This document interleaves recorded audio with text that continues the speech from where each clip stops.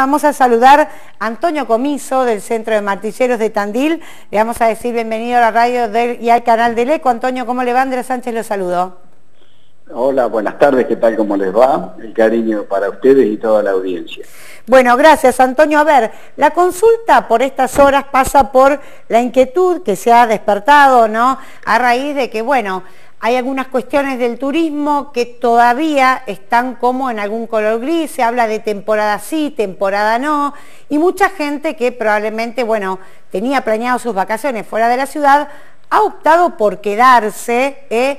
y buscar alquilar quintas o irse a una cabaña, o mucha gente de afuera también dice, bueno, si Tandil abre, directamente me voy un mes y me voy a este, una quinta.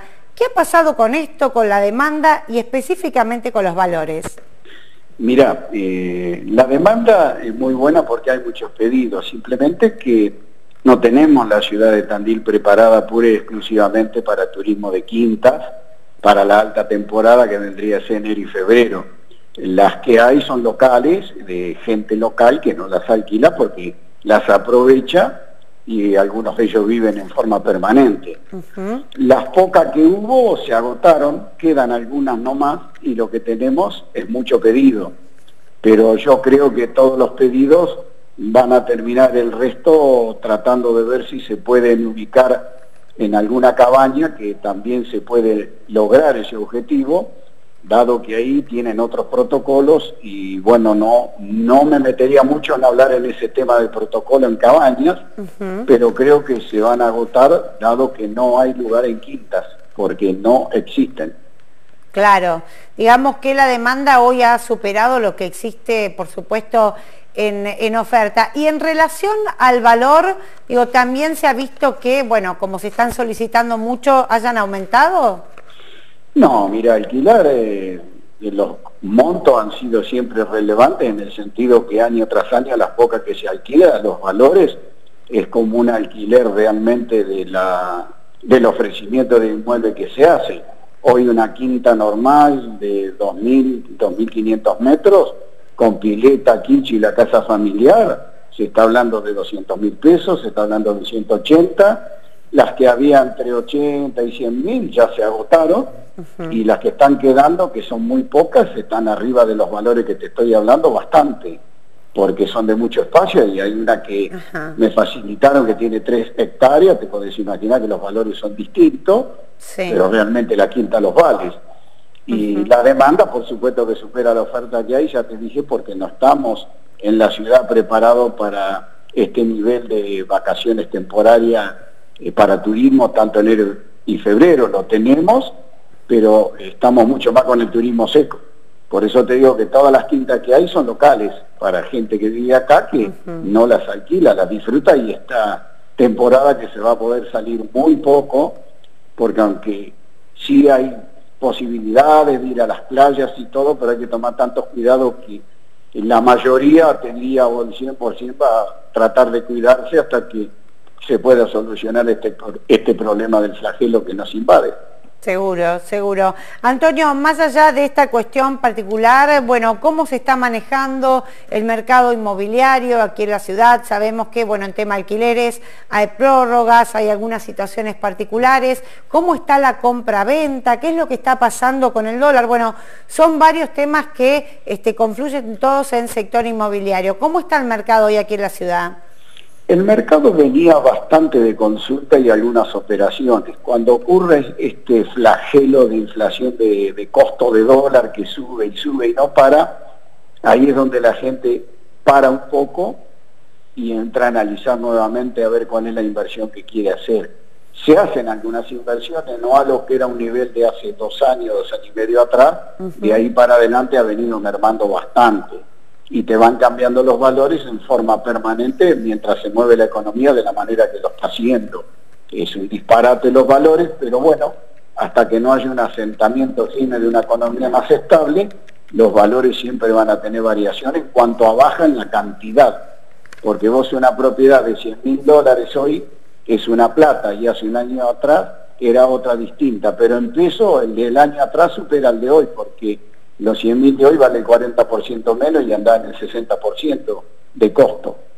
Y estamos todos los profesionales estamos eh, interiorizando y asesorando a los tanto compradores o vendedores o los que son clientes permanentes, cuál es la, cuál es la, operación que se puede hacer y cuál es el motivo en la cual se pueda realizar. Claro.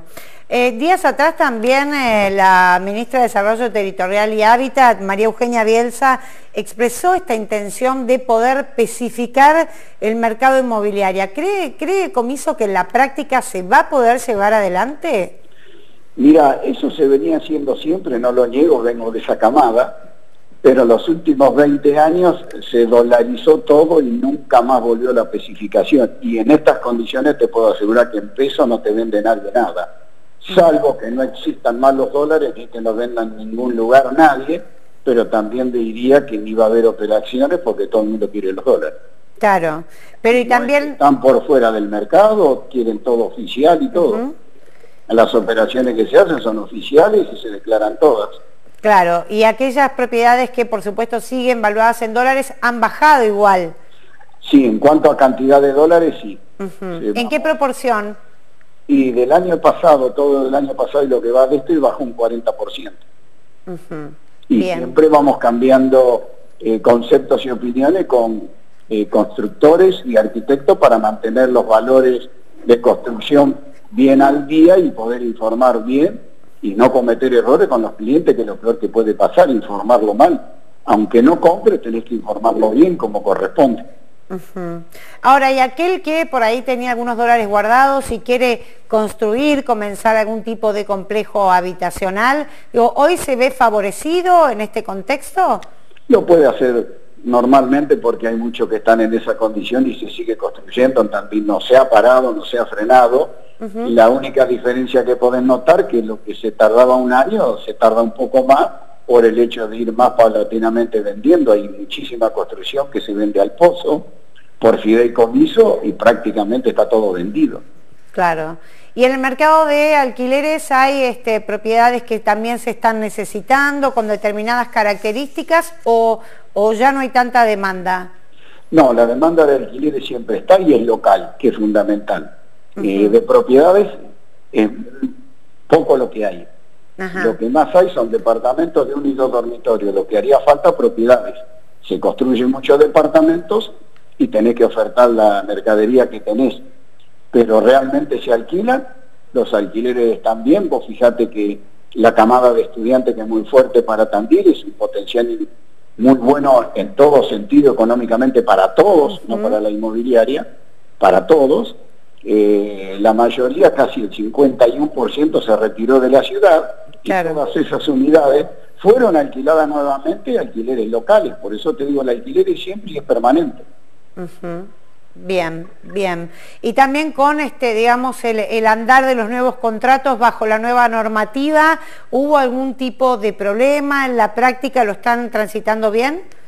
No, no tenemos ningún inconveniente. Desde el primer día que se aceptó la ley, la 27551, nos adaptamos a la ley. Ya la veníamos estudiando todos los martilleros antes de tiempo y cuando salió ya todos estábamos en conocimiento cómo hay que manejarla y a su vez en las charlas que nos da el profesional eh, Mariano Esper, que es contratado por nuestro colegio departamental, tenemos una y dos charlas por mes poniéndonos siempre al tanto de todo lo que pasa en base al sistema Zoom y nos interiorizamos y nos actualizamos. Pero la ley es fácil de entender, es única, hoy un contrato común de vivienda son tres años, arrancás con, un precio que terminás en el final con el costo que te va a poner el Banco Central de la República Argentina al año, que lo va a sacar de, eh, de empleado estatal y del INDEX de eso va a ser una división y va a ser el costo que van a poner para los alquileres porque va a ser manejado por el gobierno.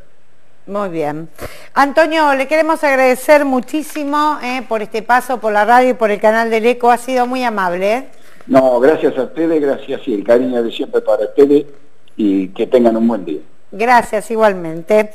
Antonio Comiso pasó aquí por Informadísimas eh, con la visión, comparte, ¿no? De la visión, él forma parte del Centro de Martilleros de Tandil, bueno, contándonos cómo es la realidad del mercado inmobiliario en la ciudad, sobre todo, bueno, por este tema que lo vimos en estos días, no solo aquí en Tandil, sino también en los medios nacionales, el auge y la demanda que hay para este, pasar los veranos en, en, quintas. Bueno, aquí la ciudad no tiene muchas más de las que ya estaban en el mercado y los precios, bueno, oscilan, la verdad, entre unos montos increíbles que recién nos decía, arrancan de 180 mil pesos, 200 y bueno, a mayor demanda y poca oferta, imagino que esto aumentará porque hasta 300 mil pesos también veíamos en, en nuestro diario que estaban solicitando por veranear un mes en una quinta.